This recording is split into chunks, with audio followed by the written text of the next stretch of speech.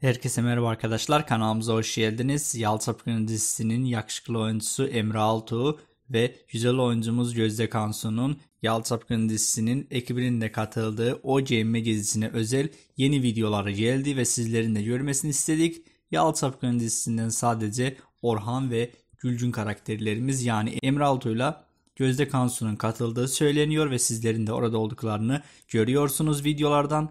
Bu videolarla ilgili sizlerin düşünceleri nelerdir? Lütfen kendi yorumlarınızı yazmayı unutmayın. Birazdan Gözde Kansu'nun paylaşmış olduğu özel resim ve videoları sizlere yine paylaşacağım. Yalçapkın dizisiyle ilgili en detaylı bilgileri sizlerle paylaşmaya devam edeceğiz. Bizleri izlediğiniz için sizlere çok teşekkür ederiz. Kanalımıza abone olarak videolarımızı beğenip bildirimleri açarsanız çok seviniriz. Sizleri seviyoruz. İyi ki varsınız. Hoşçakalın.